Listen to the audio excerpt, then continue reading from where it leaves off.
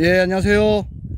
아, 오늘 날씨도 지금 많이 어, 좋아졌고, 애들 한번 좀 밖에다 이렇게 공기 쏘이고 햇볕 보려고 지금 내놓았습니다.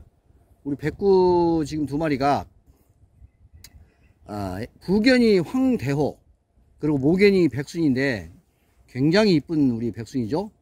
그 애들이 형제가 이제 몇 마리 나왔는데 어, 얘들 좀 어, 이쁘고 애들이 암컷이라 또 더 이쁩니다. 어, 암수 골고루 나왔어요. 근데 요놈들이 이제 거의 젖을 띄었기 때문에 어, 그래도 처음에 나오니까 애들이 이제 뭔가 해서 좀 암컷이라 좀 쫄아가지고 여기서 가만히 있습니다.